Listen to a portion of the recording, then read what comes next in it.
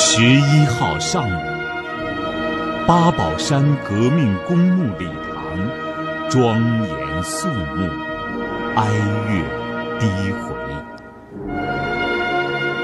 正厅上方悬挂着黑底白字的横幅，沉痛悼念桑国卫同志。横幅下方是桑国卫同志的遗像。桑国卫同志的遗体安卧在鲜花翠柏丛中。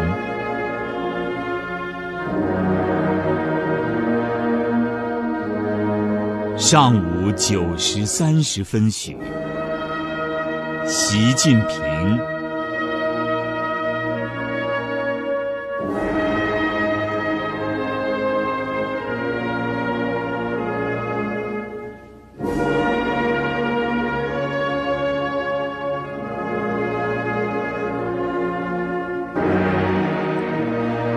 李强、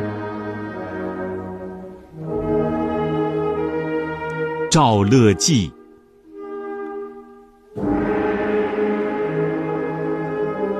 王沪宁、蔡奇、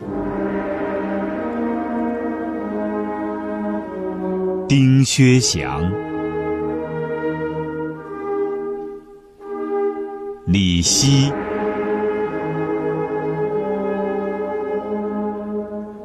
韩正等，在哀乐声中，缓步来到桑国卫同志的遗体前，肃立默哀，向桑国卫同志的遗体三鞠躬，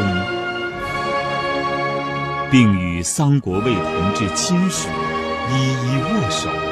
表示慰问。桑国卫同志病重期间和逝世后，习近平、李强、赵乐际、王沪宁、蔡奇、丁薛祥、李希、韩正、胡锦涛等同志。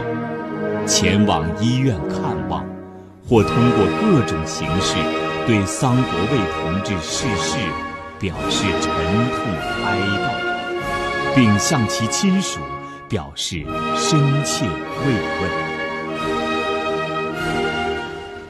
党和国家有关领导同志前往送别，或以各种方式表示哀悼。中央和国家机关有关部门负责同志，桑国卫同志生前友好和家乡代表也前往送别。